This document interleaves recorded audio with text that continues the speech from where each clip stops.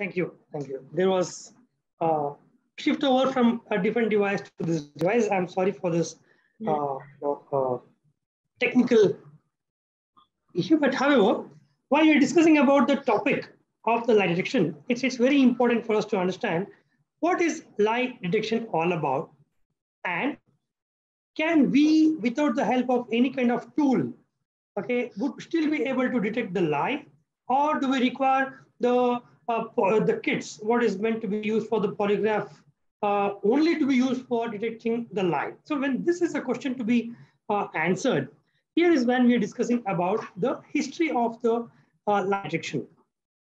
Lie detection as a concept did not just arise in the today's generation. This actually existed from very olden days practice where our kings, you know, of the ancient times uh, were effectively using this as a concept for adjudication of the issues before them. So when we're discussing about uh, this kind of issues, the oldest known technique for the lie detection is the raw rice method. In Chinese, the ancient Chinese uh, kings used to adopt a particular uh, you know, a technique called the ancient technique of the raw rice method. What happens in this uh, raw rice is raw rice method is that when there was an issue before the kings or the, the adjudicators, they used to uh, call the people in front of them and they used to give them a handful of raw rice and make them to put it in their mouth while they are asking the question and while the person is supposed to be answering the particular question, the raw rice is in their mouth. And after some time, when the question is asked, they were asked to split the, the spit the rice in their mouth. See, when they spit the rice from their mouth, based on the amount of the raw rice coming out of the mouth, the adjudicators were able to confirm that yes, this person is being truthful or the person is being deceptive. So how does this actually work? Can, can a rice which is in the mouth being spit can detect someone, somebody uh, who is being truthful or who is being deceptive? And this is a question. We have to now understand the physiology, how our body reacts, how our body uh, you know, transforms on particular questions, and can our body react to something which uh, the mind is thinking. So this is a question which is relevant to be answered right now. When this is the question, yes, we have to understand the body directly reacts to the thoughts of your mind. It's, it's, it's not a theory established by uh, Mr. Phaneendar, but even if you are aware, or even if you are not aware so far, we have to believe and understand that the mind, whatever we think in the mind, has an impact on our body. So if you think good, you are healthy. If you think bad, you are not so very healthy. There are a lot of proverbs based on this. So which means knowingly, unknowingly, we must understand that the mind actually has an impact on our body. When we had to understand this, the process of the lie detection about the raw rice method is very simple to be understood.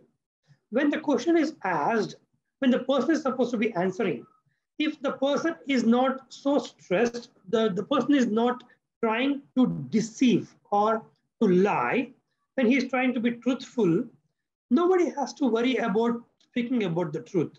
See, if, if in case you are in a situation where you're supposed to be speaking the truth, you're very calm in answering what the truth is. Whereas, if you're trying to mislead someone by giving them some kind of deceptive answer or a lie, you are thinking 100 different possibilities. Right? For to, to, to back up my statement on this, I may have to bring in another line. I may have to bring in another line for that. So what if he asked me this question? What should I prepare for that? So there are hundreds of different, you know, possibilities what you're thinking before even you are you are uh, you are projecting a lie before anyone. So when you're thinking to be uh, lying, the mind is very, very active and your mind will be in stress. So because the mind will be in stress and a lot of pressure, the body reacts with unusual pulse rate, unusual breathing rate, unusual body temperature, a lot of things on you know, th this particular aspects would actually be affected. So because in the raw rice method, when the people are talking about uh, uh, spitting the rice and raw rice to be spit, you need a lot of saliva. If you have sufficient quantity of saliva inside, is only then you can spit the complete amount of the rice from your mouth. Otherwise, the raw rice will stick inside your mouth. Lack of saliva is nothing but the body is in high pressure, high stress. Why are you getting stressed? And I'm asking you this question, when that becomes a logic, so because of this uh, particular thing is what our ancient people were able to detect the lie effectively. So it doesn't require any kind of further logic.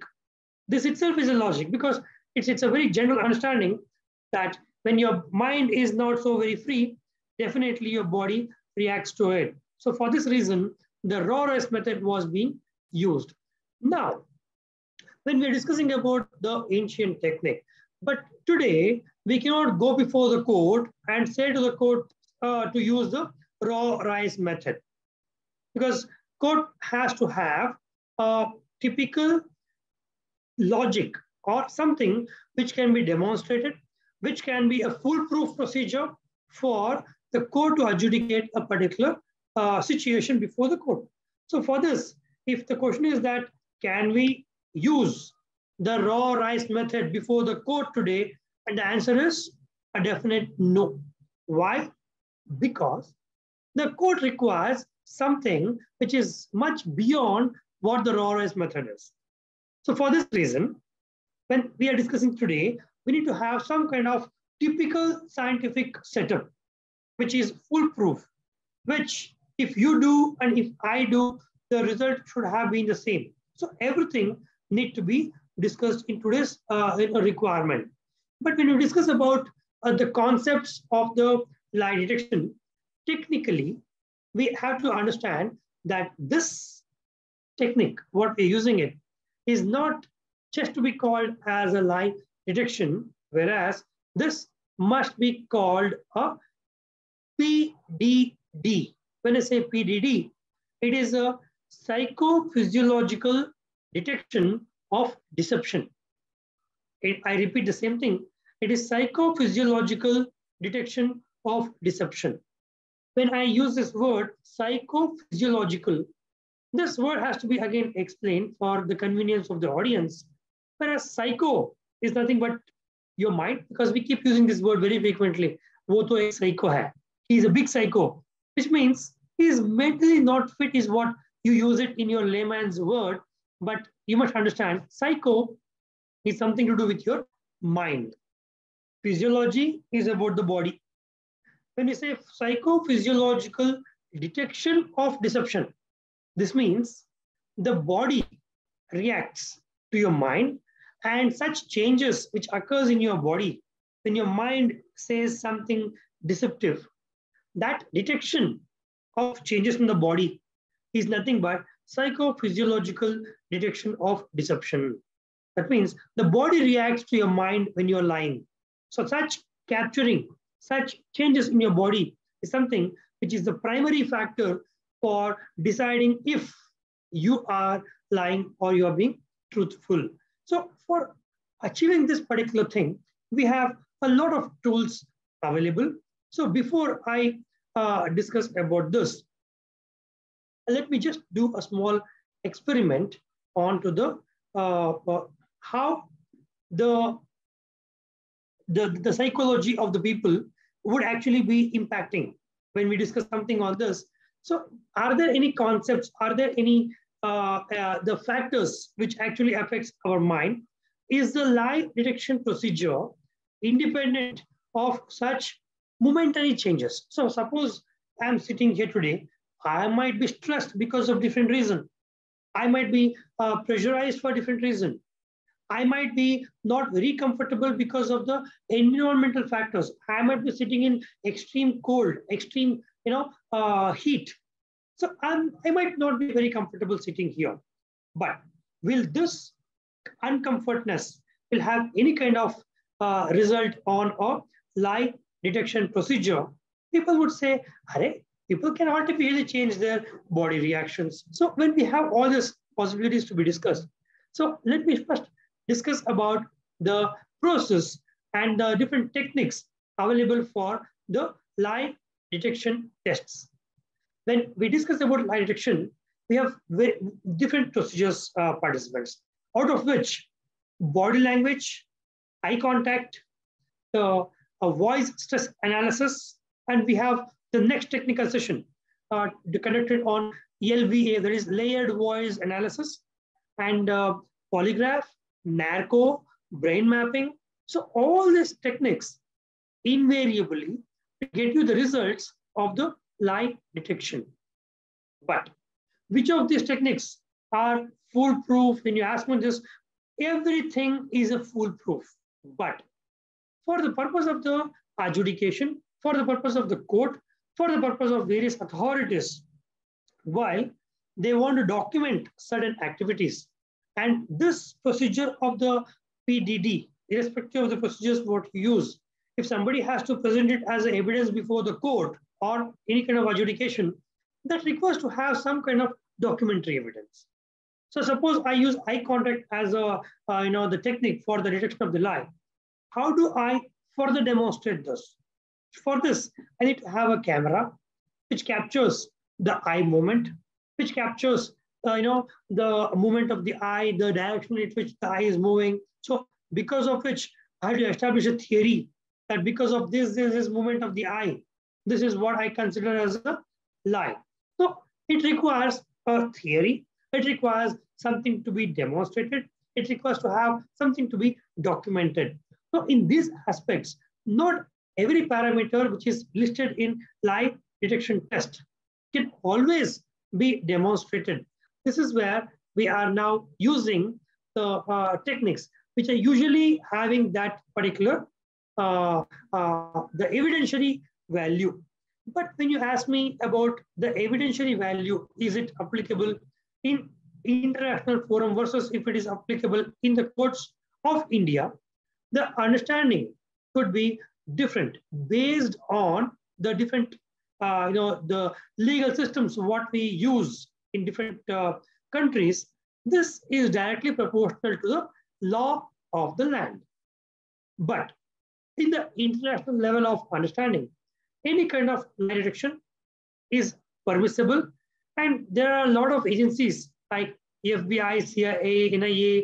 So these people will keep on conducting the lie detection in the internal reference, internal purposes. They want to understand if their agents are just the agents or the double agents. Double agents are nothing but the uh, spy which is working against the country.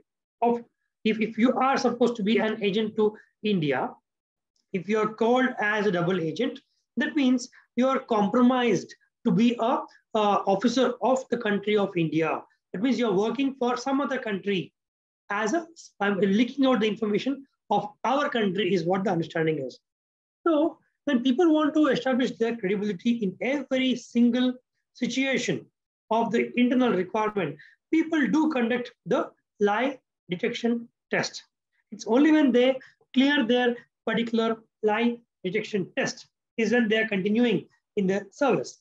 I believe if you had seen uh, the movies of James Bond or uh, the uh, especially the movie of uh, Johnny English, there's a particular sequence where the hero in the movie, who is the agent, would actually have to undergo a test on the polygraph level. So they are trained to, uh, you know, uh, cheat the polygraph to a certain extent is what the projection given.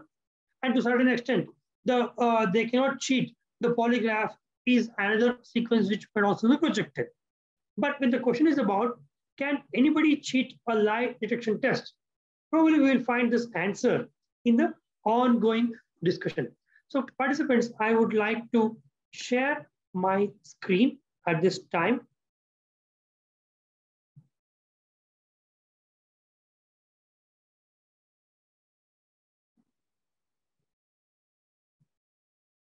When we are discussing about this, it's very important to understand the concept of lie detection. Is it a skill or is it a science? Because for any report to be used, any uh, kind of document to be used by the adjudicating authority, that requires a scientific value. Because skill is a topic of arts. Science is something which can be demonstrated, which can be redone, which will have some kind of value. And if, if other person follows the same principle, what I followed, the other person should also get the same result of what I got. That is science. H2O is equal to water. It doesn't have a, a different uh, chemical formula in India, Europe, you know, in any other country. H2O across the world is H2O only. That's science. But for arts, there is a skill. So the skill for an artist, okay, if, there is a uh, you know a painting artist, the kind of painting he does once, he can never produce it once again, irrespective of his conscious efforts or what are the efforts. A, a person who sings a song, he cannot sing the same song the same way once again. Okay, there would be some variations. Okay, he might add something when he sings the next time. He might delete something when he sings the next time. So that kind of changes, that kind of uh, variation would always be there in the skill. But when we discuss about the polygraph test or the lie detection test, the polygraph is one uh, particular aspect of the lie detection. That is not the only tool it is used for the lie detection, but polygraph has been used after, by, by several years by now, and various forensic laboratories are equipped with the polygraph procedure of the test. Because why I am discussing this? In India, there is a bar to use the brain mapping and narco analysis. In spite of these two techniques being highly reliable or highly accurate, in India, we are not using this as a tool for detecting the lie. And this famous judgment, okay, this the we, we should understand the legal procedures while we are using the tools. So one of the famous judgment, which is referred as uh, Selvi versus the state of Karnataka. This is a very famous judgment in India. Why we are not using the polygraph as evidence or the results of brain mapping or narco as evidence. This particular uh, rule of the law, rule of the court, says in India, every individual citizen is given certain fundamental rights. And these fundamental rights are inherent. Matlab, from the time you are born, you have certain rights as a human being. While, while countries like India and most of the countries across the world, they also discuss the rights about the animals and environment. So people uh, have to understand what is the rights available for human beings. We have got a lot of rights in every country and every country which is the member of the Geneva Convention of the International Human Rights. They follow the same set of human rights, which includes the, uh, the provision no one can be compelled to be the witness of their own cause, which means in the polygraph or in the lie detection procedure, whatever the statements you have given, that statement would be held against you because when you say something, yes, uh, did you kill this person? I say, no. My statement is held against me with the result that I am lying in this particular question. So for this reason, there is a bar to use these techniques because it violates the fundamental rights of a citizen in India. But as a tool, it is always good. But to use against the principles of the constitutional provisions of human rights, only then we are not able to use this as a evidence in India. But as, as a rule of the uh, judgment in this particular case, the Supreme Court has clearly held that brain mapping and narco test cannot be done. That is, that is totally barred. But polygraph test can be conducted with certain guidelines given by the National Human Rights Commission in India. So this specific topic is specific to Indian context, but in the international context, uh, because most of the countries also use the international human rights, I believe this list of uh, the Human Rights Commission's uh, guidelines is not in any way contradictory to the international practice. So which means a person who is to be tested should have uh, his legal counsels, the counsel being present with him. So he must be uh, briefed about the particular situation. So he must, if, if the subject is a lady, another lady must be present in the uh, uh, uh testing conditions. So all these guidelines has been given in the human rights uh, guideline. Because of this, in India, to use the polygraph, there is a kind of limitation. But the polygraph results does not have a evidentiary value in India. It can be a tool to be used for the investigation purpose. It can be a very good investigation tool, but it doesn't have a evidentiary value, which means the limitation of this particular uh, tool is that this, this tool is called lie detection, but not truth detection. What it's, it's, it's a negative tool actually. When we say negative tool, this can effectively identify the lie. But this tool cannot effectively identify the truth. And for some audience here, this statement would be confusing. What do we mean by this?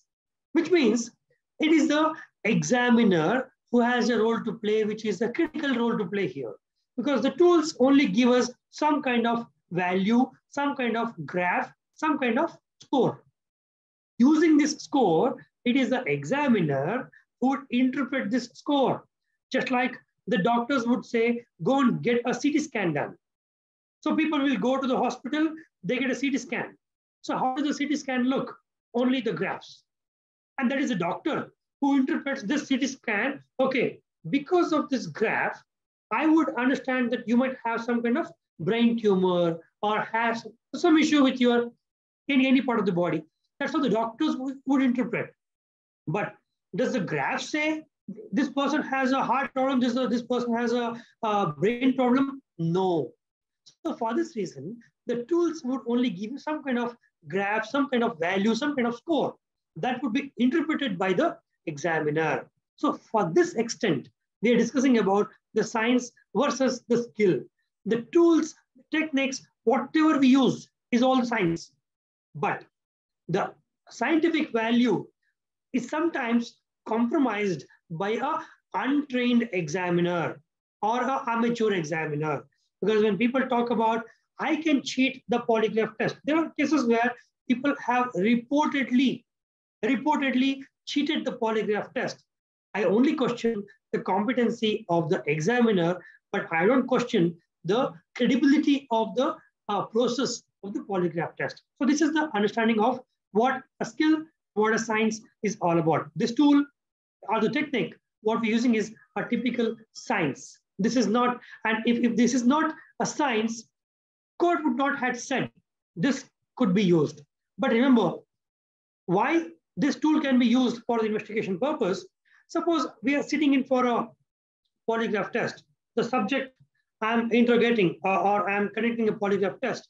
And I ask the person, have you hidden the tool which you used for uh, murder at your home? And the subject says, no. I could see the score indicating a lie. I would suggest the investigating officer, so this tool could have been hidden in his home. The police goes there, they recover the tool, and that recovery procedure is a very good evidence. The subjected to the uh, result of the polygraph, any further investigation, what they do, any further evidence they capture, that's a very good evidence.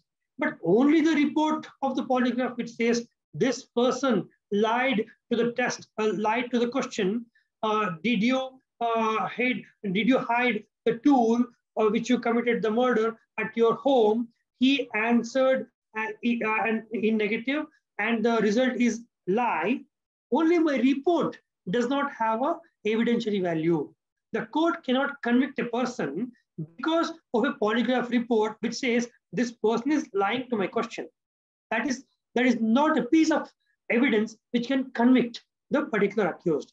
Further to this, if any such investigation happens, any further uh, uh, you know, materials are seized, if that evidence is relevant to the question before the court, that is a good evidence.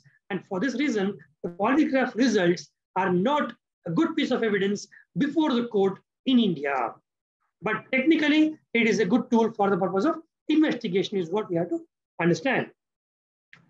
Now, the when we discuss about the PTD, that is conducting any kind of lie detection test, it is a psychological game. When I say psychological game, it is definitely a game because when I say technically a game, it is the competency of the examiner, which he will actually align. Uh, he will prepare himself, he will give that kind of setup to the subject to get the desired output of the result. When I say desired output, technically, the desired output would be the reality of the whole test. This is, this is no way which only says the uh, examiner will only have to conclude the result being a lie or result being a truth. This is not the obligation of an examiner.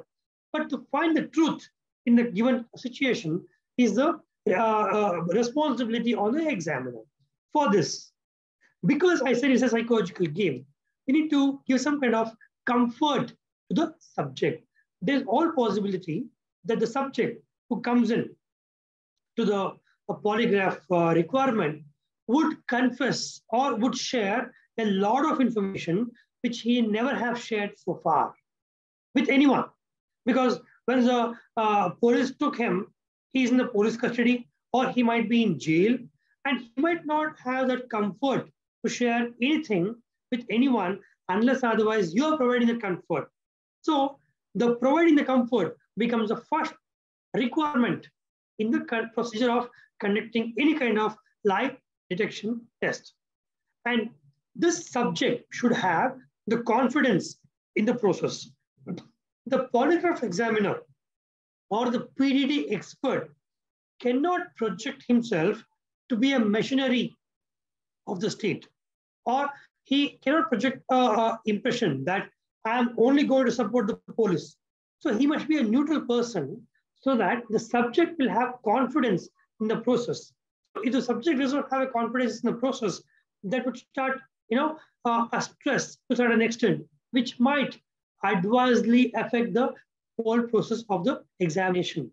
So making him or the subject to be aligned system of your choice. When I say this, I, I would conduct a particular test, uh, you know, by taking the help of any participant here. When I do this, people would understand what do I mean by framing. So I, I'll demonstrate this for you very soon. So when we discuss about the, uh, the concepts, so there are a few things which we already have discussed, but I would like to bring it on the screen that these are few known techniques of the lie detection. That is brain mapping, narco, polygraph, or voice polygraph, eye contact, micro expressions, body language. So these are few known techniques for the purpose of lie detection. And when we do, when we discuss about this, is it a good, what is the scope of this? When we have to answer this, yes, it is a definitely a very good tool used by several investigations across the globe. It is not just we are discussing about Indian authorities or some uh, specific country authorities. It is used by several investigation agencies across the globe. It's a scientific tool having evidentiary value. That is why we use it for the purpose of investigation. And this scientific tool having evidentiary value in India might have certain conditions applied. But in general, that's definitely a tool which has some amount of evidentiary significance. This can effectively detect the lie and deception. So this has an extra feather to investigator because when the investigator gets a tool of the lie detection, his investigation becomes much more faster, much more reliable, and he might not trouble hundreds of innocent people. Or even if he gets an innocent person to be, uh, you know, conducted a polygraph test, the polygraph test would say this person is very innocent. He might not be troubled again. So for all the practical reasons, this is definitely a extra feather in the cap of the investigator. One of the very good advantage in the polygraph or the lie detection test is that several of the past crimes can also be detected. When, when asked a question, okay, have you ever done uh, uh, any other crime like this in the past? He says, no, but I could see he's lying. That means this person could have been involved not just in this particular case which is being investigated, but there could be past cases also which he is involved. This can be brought out by this particular tool. So it's, it's, it's a tool with a lot of possibilities. All right. Next, it is a technique admitted by several courts across the globe. So that is why we use this as a tool. But the limitation is that in India, we have certain process of admissibility. In India, I just discussed about the case which has the rule of the law that this is not going to be used as evidence. In India is what this uh, uh, line refers to. But otherwise, okay, it can ascertain the lie, but it cannot find the truth. I'll just demonstrate this. Suppose if I ask the, uh, the screen name, SIFS, can you please unmute? The screen name SIFS? Yes, sir. Because the screen is named SIFS, is your name Ria? Sir, Ruchika Dwivedi. No, no, you don't, you have to Yes, give sir. name. You, Yes, you only answer my question with yes or no. Okay, sir. Is your name Ria? Yes. Okay. I could see you are lying to me. Okay. Your answer is indicating me that you are lying to me. I would further ask you, is your name Shreya? You again answer something. I would assess your uh, result. I'm going to ask you like that hundred different or you know hun- uh, thousand different names. For all this, I keep getting you're lying.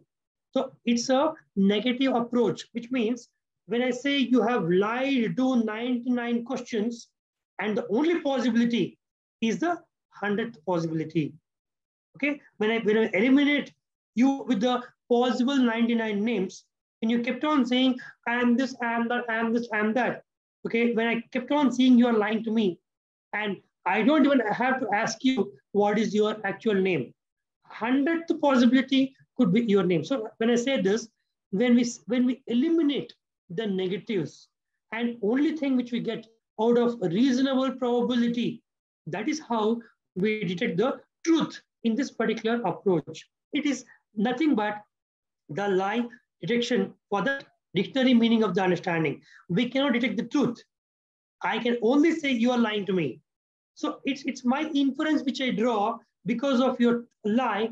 This is the only possible truth. That is the inference drawn by the expert. That is why the name is given as lie detection. However, for the purpose of the polygraph test, so I, I did mention that there are cases of people effectively cheating the tests, is what they are reported uh, cases. But how would anyone cheat the polygraph test? If you ask me this, if the uh, answer had to be done, I had to discuss about the process, how we conduct the polygraph test, which I'll do it very soon. And the only limitation of this particular test would be consumption of time. Because I said I should eliminate 100 different possibilities to find one possibility of the truth.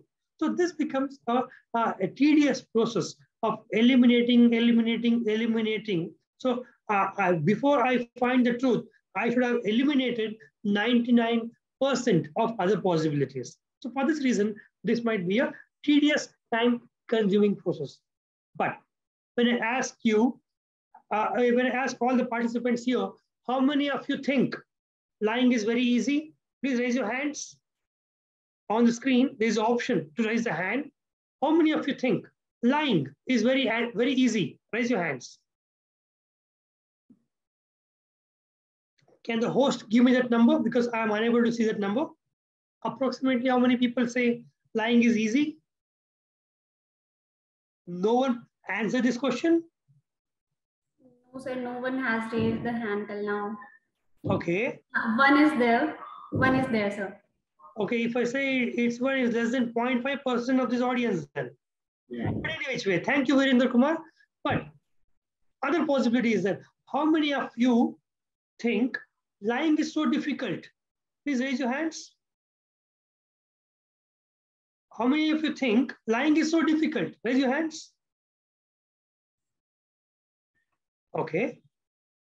So most of the people, okay, okay, thank you, thank you participants. You can now lower your hands.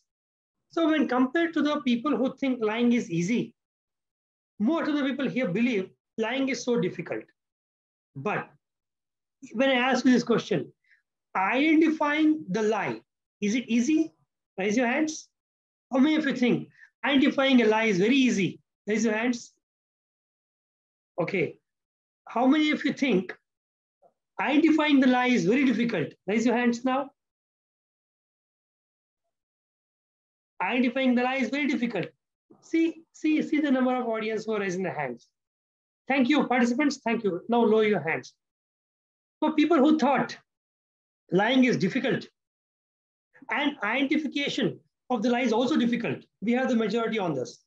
Most of the people thought lying is difficult and identification is also difficult. And you have the answer for this. Lying, when people say lying is easy, it is not the person's successful uh, lying, it is a failure of the people who did not detect that lie. Okay? It is a failure of the people who did not detect that particular lie. When we, when we outside in, in general investigations, we call a perfect crime. People would refer this word, perfect crime. What do you mean by perfect crime? Our jurisprudence says there cannot be a crime without any evidence. A perfect crime is nothing but there is no evidence, isn't it? But can there be a possibility of a perfect crime? The answer is no. And the term perfect crime only indicates the failure of the investigation officer. The competency of the investigation officer is highly questioned whenever we use the term perfect crime because there cannot be a perfect crime. Just like this, when we say people can effectively lie, and when people also accepted that we cannot effectively detect the lie, it is only understanding that we are not detecting the lie. We are at failure right now. All right, for, for different reasons. One is that you trust the person at the particular situation, or you are not trained to detect the particular lie. You don't know what are the indicators which could actually be considered to be a lie. But there are a lot of situations, even though you suspect this person is lying, because you feel I cannot confront this person with only my understanding, you tend to believe the other person could be truthful. So the reasons are different, but the only understanding is that, yes, the, the, the lying, when we discuss about the uh, uh, if it is easy or difficult, the principle says that lying takes more cognitive and emotional efforts against telling the truth. You can be easily telling the truth because that's what happens when you when you start confronting a person at one particular time, the person gives it off. Yes, I did this. Yes, I lied. Why? Because he cannot carry forward the same stress. He cannot carry forward the same emotion uh, that, that, that uh, heights of his preparedness to continue lying, to continue keep uh, you know giving the deceptive statements. At one particular point of time, he just gives it off you would have experienced this in your routine life. But the same thing is a principle behind the lying. One or the other stage, the person has to give it up. This happens in most of the police investigation uh, procedures when they actually uh, uh, torture the person, a third degree torture. Okay, because of physical pain, the person gives it up. But even if not, even if not, the, the lying takes more cognitive and emotional efforts and being truthful. That is why it's always recommended you have to be truthful so that you can have less emotional stress. The any which way you have to face the consequences, that's a different thing. Okay, depending upon the situation, people tend to give it up or continue what they are lying. That's a, that's a different question to discuss. Second thing to understand here is that looking for leakage from the baseline. When I say the leakage, the PDD, initially we discussed about it psychophysiological. The changes in our body has to be carefully observed is what the term leakage is. Because when you start lying, somewhere or the other, okay, your, your body will react to it. Suppose I, I lied something. Suddenly I feel like doing this. I lied. Suddenly I feel like doing this. You have observed the children. Children, okay, when they when, when we ask a child, okay, oh, uh, did you take this chocolate? Child says, no. And suddenly you cover up the mouth because the body immediately reacts. So you, the, the child or the children are the very good examples to understand this particular process. When, when you ask them a question and they, when they have lied, suddenly they usually tend to cover their mouth or, or they try to turn around because the body reacts to that. But for people who are grown up, they consciously control their body.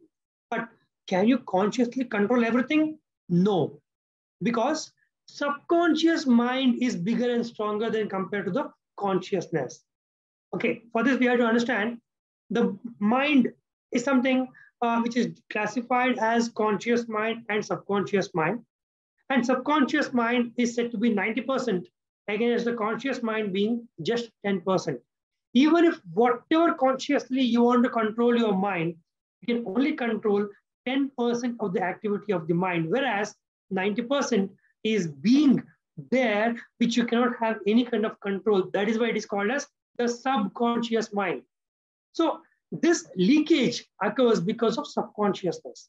So when I say a lie, my face, my body reacts to it. It's only the challenge what you're trying to observe will make the difference whether you're considering the statement as truth or statement as false. Observable elements includes facial expressions, body language, voice, statement. When I say voice, everybody here would have experienced somebody being on the call, hey guy, where are you? I'm at home. You feel like, I don't think you are at home. Okay, you, you tend to guess because you are familiar with that person. Okay, when he is at home, how he speaks. When he's not at home, how he speaks. So you are familiar with his, uh, you know, uh, baseline. You know what is the baseline of his reaction. When he's outside, how he, when he's at work, when he's busy somewhere. Okay, suppose you are in the class, somebody calls you. How would you say, hey man, I'm, I'm, yeah, tell me. Okay, it's okay. Other person will ask you, why are you being so low? You, hey, hey, I'm in the class. That means you're not comfortably speaking. So that voice, okay, many times acts as an indicator for the uh, deception to be observed. Statement. Statement analysis is a different topic of discussion because it's the, the, the, the language what you use, the linguistics what you use also indicates the lie. It's often said when the person is lying, he doesn't often take proper noun. He always take a common noun in his explanation.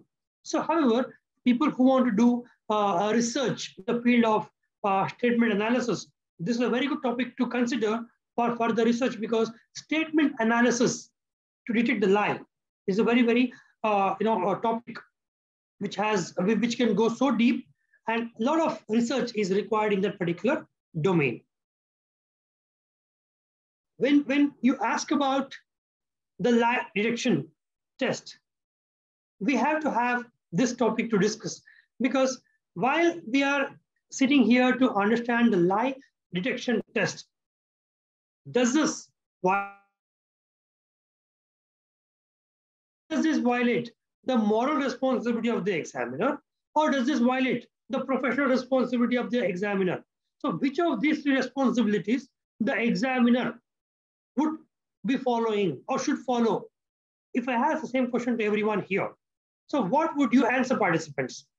How many of you think the examiner should always go with the professional or official responsibility? Please raise your hands. The examiner should always go with the professional or official responsibility. Raise your hands. Okay, thank you, thank you. How many of you think the examiner should always go by the social responsibility? Please raise your hands. Okay, thank you. How many of you think the examiner should go by the moral responsibility. Now, please raise your hands. Okay. We have got, we have got like, uh, we have 6%, 4% and 2% kind of a, uh, uh, approach. Thank you, participants. Thank you. You can now lower your hands. It's, it's a reality. It's a reality that an expert at one given situation cannot, know, cannot carry forward all the three responsibilities. It's only by compromising on the two responsibilities, one responsibility can be effectively be adopted. I'll give a small scenario while conducting the lie detection test. There was a situation where the husband, and, and for all those who thinks the lie detection test is only used in criminal investigations, no. Today, the lie detection test is used for our society, our morality. And when I ask, when I tell you this, it's about the relationships. It's about the culture. Okay? So when, when the question is about infidelity, the spouse suspect on each other, this is a tool which is answering the queries to a larger extent. And not every such issue would go to the police. They cannot go to the police and say, I suspect my wife, I suspect my husband without any evidence over there. So when the question is about suspiciousness, this is what the tool which is used to get yourself ascertained. So I have a case to discuss. Uh, it is a very uh, significant case to understand the responsibilities. Uh, what would be the uh, choice of the responsibility? This husband engaged an expert or examiner to conduct a polygraph test on the wife. These people are married for six years. Soon after the marriage, the couple had to locate in US. They are from India. They located in US. So when they went to US, this particular husband used to work for 14 hours a day. Okay, so even though he is working in US, he was not given the benefits of a employee in US because at different countries they have strict policies for the uh, uh, employees. Okay, but in spite of that, he was assigned the work of 14 hours a day. But when I say 14 hours a day, it was not the day which he used to spend in the office, but he was given the night shift. 14 hours in a day, he used to work in the office at the night. Because of this, when he came home in the day hours, he should sleep. At night, to go to the office and work. So wife has a physical requirement. So because she has some desires which is attached to the nat natural age of the person, natural status of the person because she's a wife, okay, she has to be have, she has to be fulfilled with her sexual desires. So because of the wrong working culture of the husband, she happened to develop a relationship with a neighbor in the same apartment who happens to be the husband's uh, husband's friend. So fine, she attached uh, herself to the friend of the husband for two years, and later, when they came back to India, now the husband somehow got a sense that she was in relationship with the friend of his.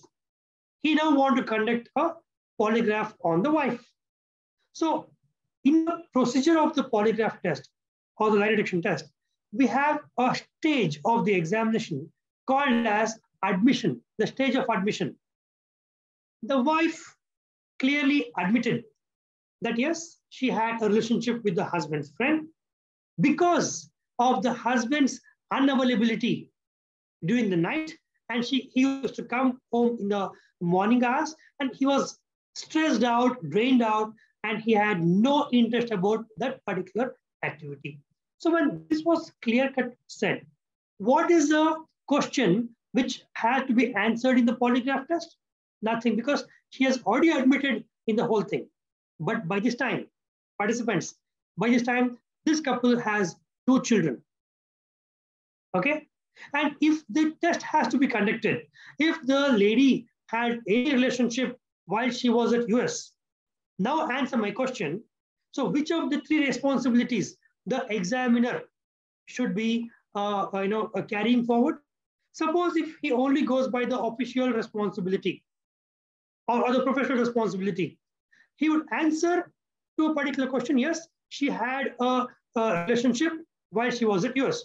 But after coming back to India, she is being very truthful to the husband. Okay, this could have also been tested. So she says, only when I was in US, I had a relationship there. But after I came back to India, I have been very loyal to my husband. So when this had to be dealt with these responsibilities, can any participant say what would be the responsibility to be chosen by the examiner? If you are the examiner, what would you do in this situation?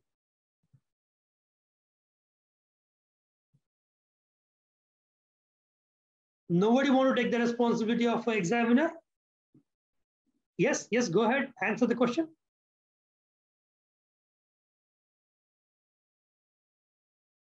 Okay, I feel I feel everybody, I mean, nobody's coming forward to answer this question for, for reasons that nobody is sure as to what of these three had to be chosen. Because if, if the examiner chooses official responsibility, he says the wife had a relationship being at US and husband might end up the relationship and the children are sufferers in this particular situation because children did not do any kind of crime. Okay, why would they suffer in this? When the when the couple separate themselves, the children are the sufferers. So if, if in case we had to deal with the social responsibility, the examiner is compromising on the official responsibility. He cannot give the truth to the uh, husband. Moral responsibility, yes. So when, when we discuss about the uh, relationship as a marriage, the wife should not have done that. Yes, correct. She has a reason why she conducted that. Morality, though it is compromised, that would impact on the social uh, so, social values. The child should not be suffering in that. So out of the three, nothing can actually, uh, you know, uh, you know, no one responsibility would fulfill the situation before us. So for this reason, so the examiners, to a certain extent, should not get involved in the background of the case. When, when we discuss about this kind of cases, the examiner would become biased. So it's, it's high time that as a uh, uh, examiner, we should only stick on to a professional responsibility because there'll always be a person who has sought some kind of examination from the expert. In case of police investigation cases, the result has to be shared with the police investigator. They will do whatever they should be doing. But in terms of the engagement of a private individual as well, sharing the response, sharing the result is our primary responsibility. Apart from that, when we start discussing about any other background that actually compromises on the professional responsibility. So it is not the examiner's duty to uh, go with social or moral responsibility. It's only the official responsibility which actually supersedes any other responsibility of an examiner. Now, when we're discussing about all these things, participants, uh, uh, how does the polygraph be conducted? How does the examination be conducted? It's, it's very natural that suppose if a person has done something wrong, when the person knows that he's being questioned because of this particular situation, he's prepared for that. Okay. So, for example, uh, there are many students here. Okay. If in case I want to ask the question, did you cheat in any of the exams recently? Especially in the COVID time, most of us had online classes, online exams.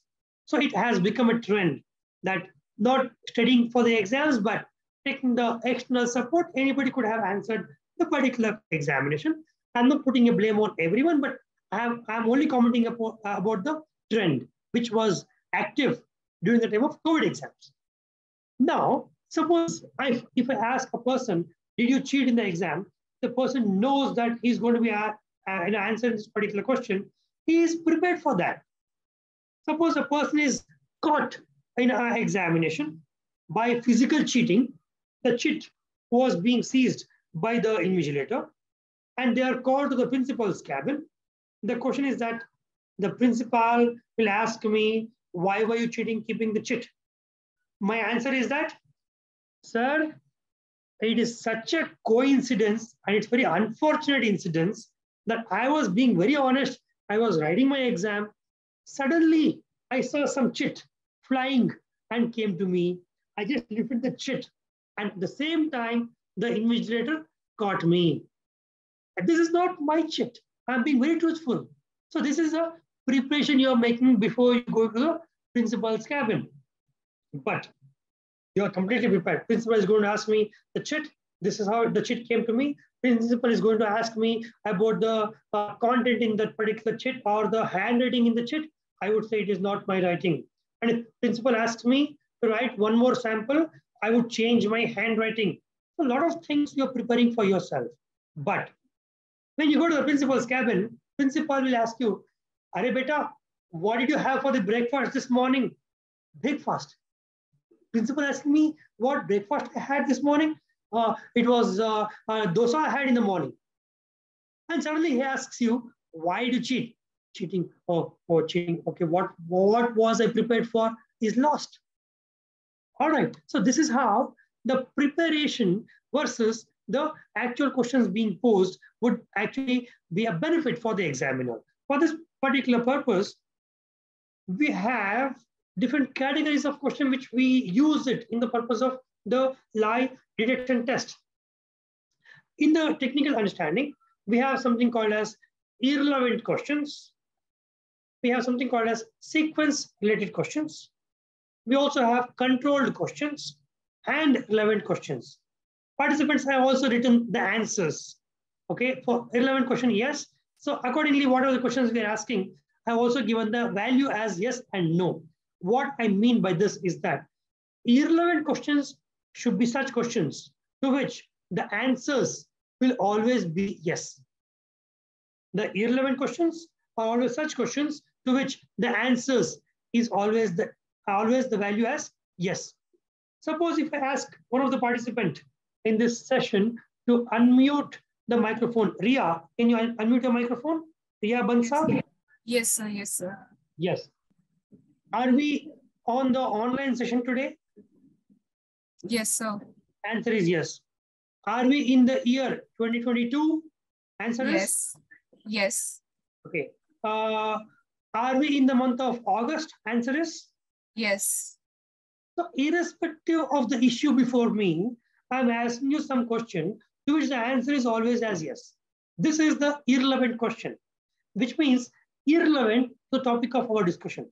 Suppose if I'm checking on Ria on if she ever cheated in her exam, and if I'm asking her, are we in the month of August, are we in the year 2022? This is totally irrelevant to those questions. All right, so this is the significance of the questioning category called irrelevant question. Next, sequence related questions. So sequence related is at this point in time is what we try to get that information. Matlab, Ria, are you trying to be lying to any of the questions in my test? Answer is No. See, when you are the subject, if I'm asking you, are you planning to lie to any of my questions? And your answer is no.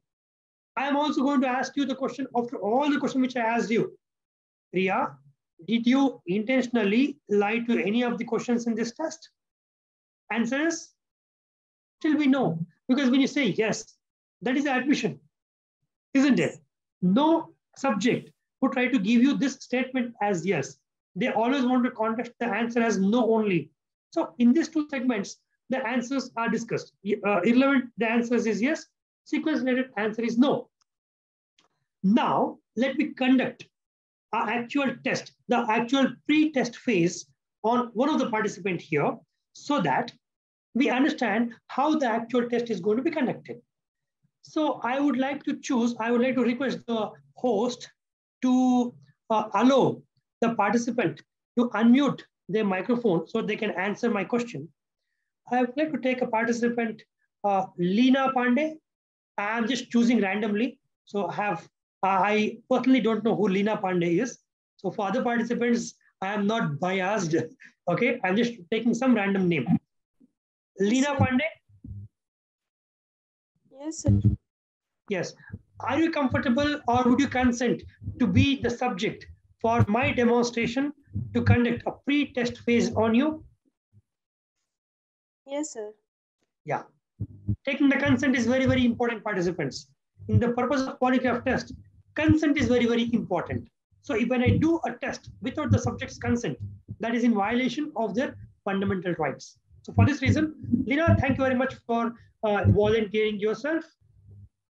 Leena, I would like to uh, take you through a pre-test phase in which Yes. I'm going to ask you some information which you had to go on giving it to me. Leena, can I have your complete name? Sir, my name is Leena Pandey. Participants, I would actually have a format in front of me while I'm conducting the actual test. I'll have a format in front of me where I'm going to uh, note, make a note of all these answers, what she is going to give it to me. Okay, so okay, Leena Pandey. Leena Pandey, what is your age? Sir, I am 20 years old. Okay, what is your date of birth? Four. You don't have to give me the actuals, you can give me some proxy, you know, but you should give me some value. I'm going to make a note of your date of birth. Participants is also important that you make a note of the age as well as the date of birth. For some people, they often don't like to increase their age at all. Okay, we have to calculate the age all by ourselves. So, what is their age? What is the date of birth? Both of it is important. Leena, Yes, sir. I have, uh, uh, I would like to uh, make it very clear to you the purpose of our discussion today. The purpose is that uh, I'm going to test, I'm going to conduct a test on you for the issue if in case you have cheated in any of the exams in the near past. This is the issue which we are sitting here, is what I'm going to make you understand during the pre-test phase. However, Leena, if you're the actual subject who is being tested, you'll actually, you know, answer in that, uh, you know, uh, uh, status. Got it? Though, uh, uh, you know, uh, I understand you're not completely prepared to be a subject here.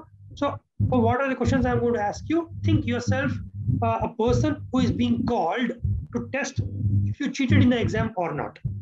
Okay?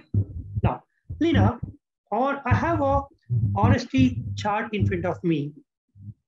I would like you to score any score between 1 and 10 on the uh, question of your honesty. 1 hmm. being the least and 10 being the highest. What is your score which would like to give it to you for your honesty? Leena, Yes, sir.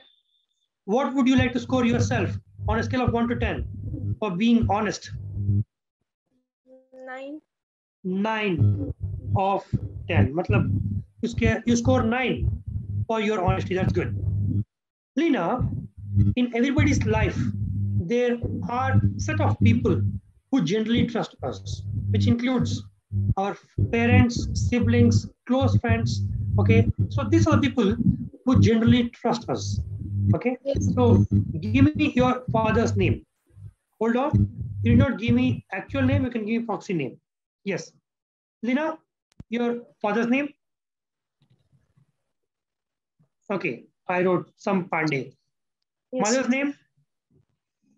Some Pandey. Yeah, siblings? A sister and a brother. Yes. The names. Okay, I wrote Mr. X Pandey, Miss Y Pandey. All right.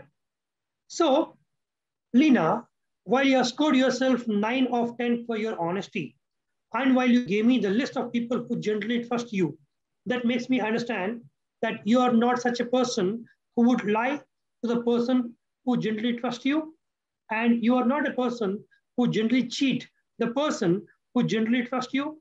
You don't you are not a person who would steal from the people who generally trust you. Am I correct? Yes, sir. Yes, yes, yes. Now, Leena, I have to also take some information about you before I proceed with my further test. So I would like to have some information about the health conditions of you so that I would be convinced that you are fit enough for the purpose of my test.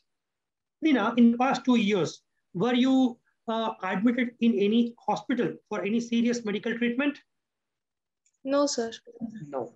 Are you presently undergoing any kind of medication or regular medication for any issue?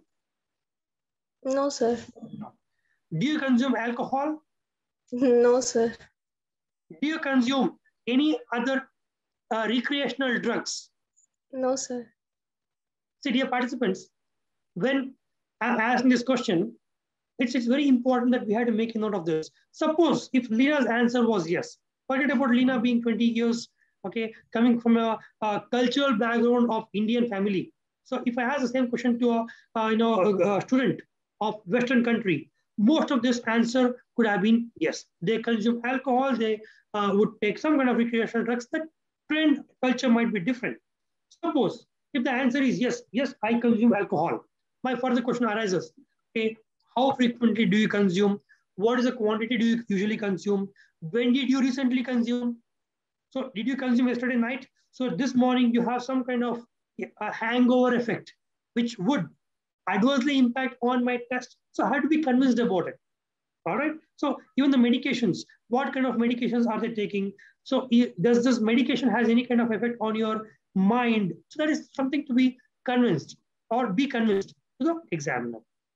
Fine, Leena, after this, all these questions, I have uh, I have to give you an opportunity.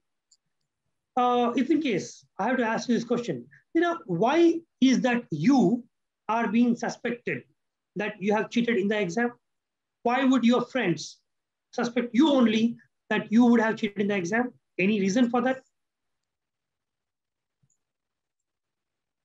Leena? Yes, sir. Your friends have suspected that you have cheated in the exam. Okay, uh, do you think there could be any specific reason for that? Sir, maybe उनको कुछ ऐसा लगा हो मेरे behaviour से कि jealousy हाँ could be a jealousy okay and uh, uh, uh, Leena, do you want to admit anything before I conduct the test, so that the whatever you admit in this particular phase need not be tested in the testing phase. So, is there any situation in the past that you have cheated in the exam in any which way? Sir, when it was online When the examination was conducted online. Okay, Yes, so you say you have cheated in the exam in so and so exam uh, by using so and so method. Correct? yes sir. And this, I am making a note in my record right now, okay, as an admission phase. Okay, fine. So apart from this, I don't think you have cheated in the exam. Am I correct, Leena? yes sir Fine. Leena, after all these questions before me, I have few common or very simple questions to be answered by you. And I only want you to answer yes or no to my questions. The questions includes, okay, is today, uh, you know, uh, Wednesday? Answer is yes yes. It's a irrelevant question, dear participants. You have to understand, I'm asking her some irrelevant questions right now. Are we in the year 2022? Answer is yes. Are we in the country India? yes Or you at least. Are you in India right now? yes sir Yes. Uh, are we in the month of August? yes sir So I record the answers as yes. Leena, while these questions are very simple, I have few uh, questions which again have to be answered with yes or no only. My question to you is that, have you ever cheated in the exam in the past six months? And the answer is no no. Participants, now look at the screen. The relevant question is that which I'm asking her, have you ever cheated in the exam in the past six months? And she gave me the answer as no, because the questions are to be so framed that the answer given by the subject should always be no for the category of relevant question. All right, fine. Uh, Leena, for the better understanding of cheating, I would like to make you understand cheating involves anything and everything which is not supposed to be done in an exam, which includes not to carry any kind of external material, not to take any external support to answer the questions, not to take the help of any of your friends sitting in the exam. This is how the cheating could be conducted. Am I right? So you have understood my question and your answer is still no. Am I right? yes sir Okay, my next question to you is that did you ever help anyone to cheat in the exam? yes sir Helping, helping involves a lot of things. Matlab, you passing on a cheat to someone You, you don't have to see the chit, but you passing on chit from left side person to right side person is still helping. Okay, or you have seen someone copying and you did not alert the invigilator, it is also helping. Or you have shown your answers the person sitting next to you is also helping. So helping has a lot of uh, you know possibilities. So my question to you, Leena, have you ever helped anyone to cheat in the exam? Yes, sir. But participants, she answered my question as yes. For all the relevant questions, the answer had to be no. Because she answered as yes, I will go back to the admission phase right now. Because whatever she is now saying, she has done this, this amounts to admission. I go back to admission. Okay, Leena, tell me, how did you help anyone to cheat in the exam? She would say, I did that, I did this. Okay, I record that in the admission box. And now, because I have to get the answer as no, how do I frame the question to the uh, same issue? I'm going to ask Leena. Leena, apart from what you admitted, is there any which way you have helped anyone to cheat in the exam? No. No. Now I got the answer as no again. For all the relevant questions, the answer had to be no. Okay, so I changed my question to get the answer as no. Now, Leena, my last question to you is that, do you know for sure who cheated in the exam? Hold on. For you to be sure, there are only three possibilities. Possibility number one, you would have seen someone doing that particular cheating. That is one possibility to be sure.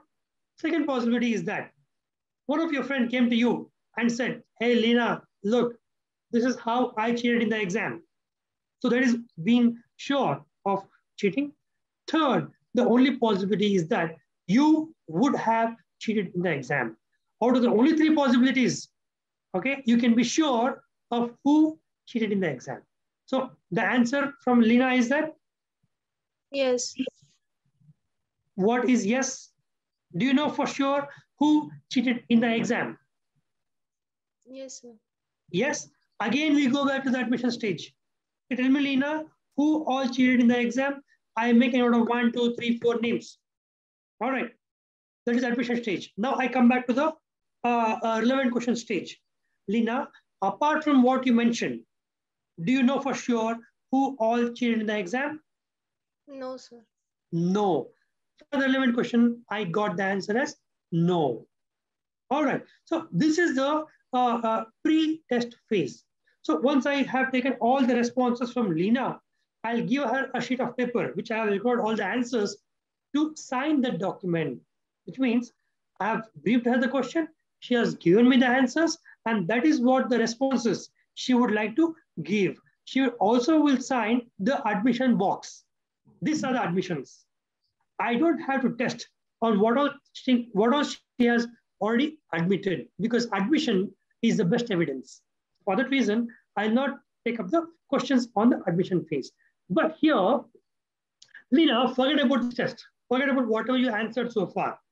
Have you not lied to your parents for any reason? Sir, sometimes. But when I asked you, you are not such a person who would you know, lie to the people who generally trusted you. You earlier said as no, isn't it? Yes, sir. Yes. Participants, I'm now referring to the category of the questions, which is nothing but the controlled questions. Controlled questions are those kind of questions to which the examiner would know this subject is going to lie. The responses received for the controlled questions are always the known lie. Because when I initially discussed about the framing the subject, framing the subject, I said, Leena, you have scored yourself 9 of 10 for your honesty, which makes me believe you're not such a person who would lie to the people who generally trust you. You're not such a person who steal from the people who generally trust you. You're not such a person who cheat the people who generally trust you. And to which Leena said, Yes, I am not such a person. But if I have to reality, every one of us would have lied, cheated, stolen something from the people who generally trusted us, isn't it? So for this reason, the controlled questions are those questions which are always a known lie, to which the answer must be taken as no only. Now, participants, on the screen, you have got four different categories of question. And in the polygraph test, the chronology of the questions would also be the same. First, we ask irrelevant question, where the preparation, if any, by the subject would be disturbed. Next, we ask the control question. Sequence related question is not going to be asked in every uh, you know question being asked. Sequence related will be asked only twice in the whole chart. So control, it is irrelevant, controlled, irrelevant, irrelevant, controlled, relevant, irrelevant, controlled, relevant. The three circles, the three, three cycles is what will make you one chart. Okay, so that's how the questions are uh, important for the purpose of polygraph test. Control questions are the known lie, where the subject is intentionally lying or the examiner is making the subject to lie this particular question. So when you ask me, participant, this is the baseline we are setting. For irrelevant question, the answer is yes, a truthful answer. It has a graph. For irrelevant question, sorry, for, for the controlled question, uh, you're getting a graph of a known lie. Now you get a graph of a relevant question. This particular relevant question, is it having any resemblance to the controlled question or not? So because controlled question is a known lie, if the relevant question graph is closely matching with the controlled question's graph, that means this person is lying. Otherwise, this person is not lying, will be the understanding. Here, we are setting a baseline. Okay, we are going to compare the known values of a lie, known values of an unknown graph. Unknown graph is the relevant questions in this test. So on the screen, dear participants, you could see the result of a polygraph test. When I say result of polygraph test, this is what the computer or the software will give it to you as a graph. With such graph, it is an examiner who would interpret what is the uh, uh, what is the truth, what is the deceptive statements, what was received karke. It is the examiner who would interpret this particular graph. It is not the graph by default which would say lie or truth. But there are also few tools in the recent days which would automatically calculate the scores and indicate a deception or a truthfulness. But ultimately, it is the examiner who would take a call on the values derived from such kind of polygraph tests. And when I say polygraph, there could be different tools used for the conducting of uh, you know, a polygraph test. Ultimately, the principle how it works is nothing but what we discussed so far. So participants, with this brief introduce, introduction to the, uh, you know, uh, this one, uh, the topic, I would like to uh, conclude my session that the how the polygraph works and what are all the parameters what we use for the purpose of polygraph. With a quick uh, five minutes, we can I could take question, I could answers. Uh, I could give the answer for the questions arising out of my discussion so far. But with the limited extent of one and a half hours time of our discussion, okay, this is what a basic understanding I would wish to give to the participants. But this topic is vast and this also uh, could be answered in the upcoming sessions. Participants, I thank you very much for your patience and your involvement. The session is now open for the questions. Thank you very much.